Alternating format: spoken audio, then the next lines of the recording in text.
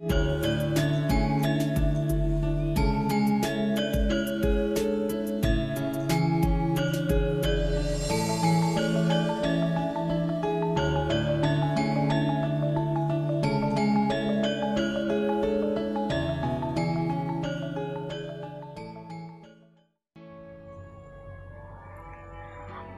Swastiastu. Om Awigenamastu Namasidam. Om Sidirastu Tat Astu Swaha. Dewan Juri Arjuna Digital yang terhormat, rekan-rekan peserta yang saya banggakan, serta umat sedharma yang berbahagia. Puja Astungkara patut kiranya selalu kita panjatkan kehadapan Sang Yang Widiwasa karena atas suara nugraha beliaulah kita masih diberi kesehatan, keselamatan, dan kebahagiaan. Umat sedharma, sebelum saya menyampaikan pesan dharma ini, terlebih dahulu perkenalkanlah saya Durgandini Wahyu Putri dari Jombang, Jawa Timur.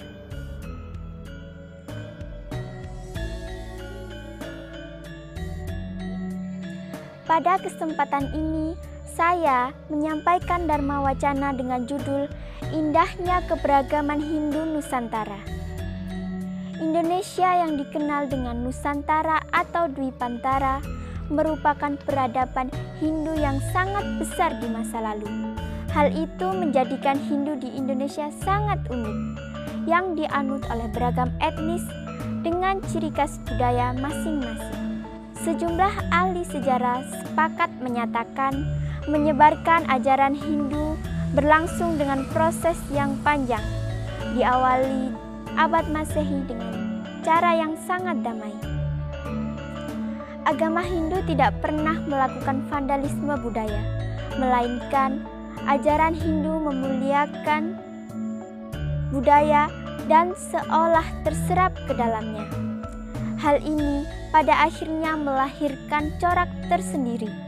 Oleh karenanya, agama Hindu sangat berwarna, seperti Hindu dengan etnis Bugis, Dayak, Karo, Batak, Tamil, Jawa, Sunda, Tengger, Bali, dan sejumlah etnis lainnya.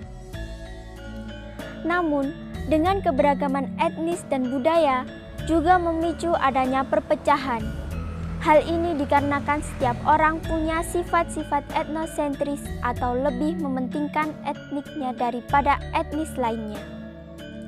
Maka di sini peran agama Hindu dalam menjaga budaya serta menyatukan umatnya sangat penting.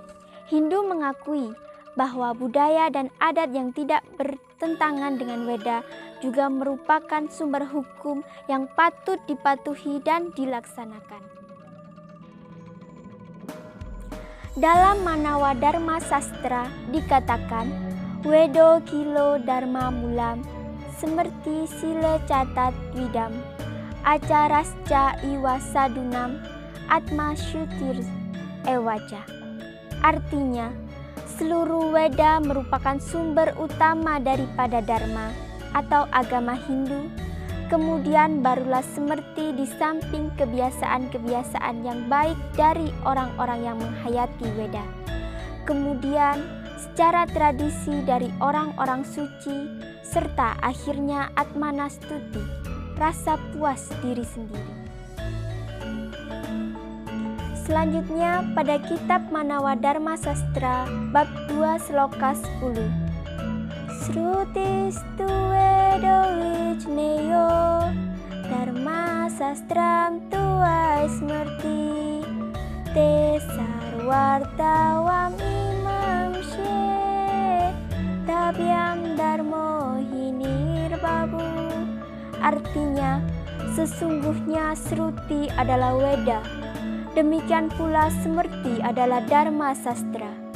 Keduanya tidak boleh diragukan dalam hal apa pun karena keduanya adalah kitab suci yang menjadi sumber agama Hindu.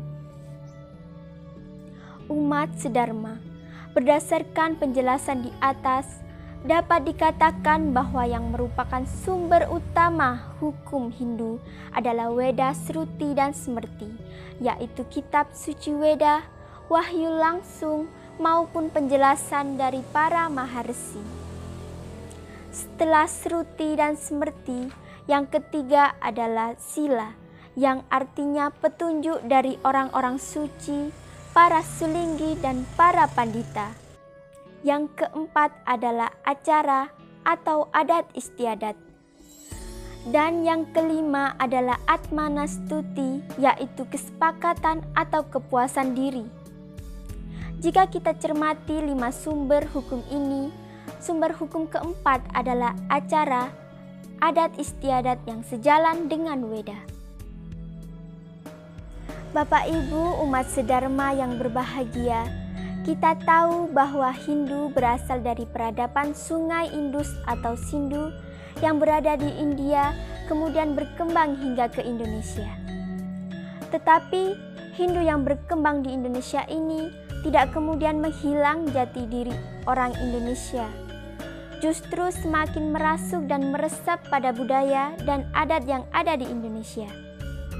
Rekan-rekan semuanya, sebagai generasi muda Hindu di mana pun berada, sebagai generasi muda, patutlah kita selalu ingat akan jati diri dan adat istiadatnya. Yang Bali jangan lupa akan Balinya, yang Jawa jangan lupa Jawanya, yang Tengger jangan lupa akan ketenggerannya, begitupun yang lainnya. Kita harus selalu menjunjung tinggi nilai-nilai budaya kita dan juga menghormati budaya lainnya. Jangan sampai budaya yang sudah diwariskan oleh para leluhur tergerus oleh modernisasi. Dan hendaknya budaya dan modernisasi itu berjalan seimbang sehingga dapat tercipta umat Hindu yang modern. Umat Hindu yang modern kuat akan seradanya dan tidak menghilangkan peradaban tradisinya. Demikian yang dapat saya sampaikan. Semoga apa yang saya sampaikan bermanfaat dan apabila ada tutur kata yang kurang berkenan, saya mohon maaf yang sebesar-besarnya. Akhir kata saya tutup dengan para masanti. Om Santi, Santi, Santi. Oh.